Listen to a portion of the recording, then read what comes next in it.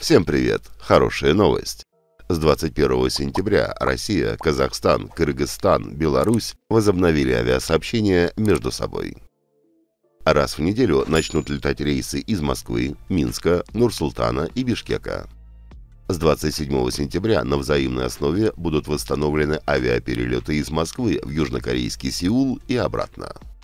Решение принято по итогам заседания оперативного штаба по предупреждению завоза и распространения новой коронавирусной инфекции на территории стран СНГ.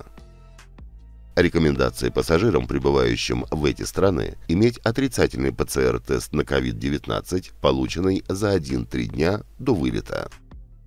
Граждане Казахстана и Кыргызстана теперь снова могут без проблем выезжать на работу по рабочей визе категории D в Евросоюз. Ехать можно через Москву или Калининград. Единственным условием остается пребывание в самоизоляции сроком 10 дней перед первой рабочей сменой.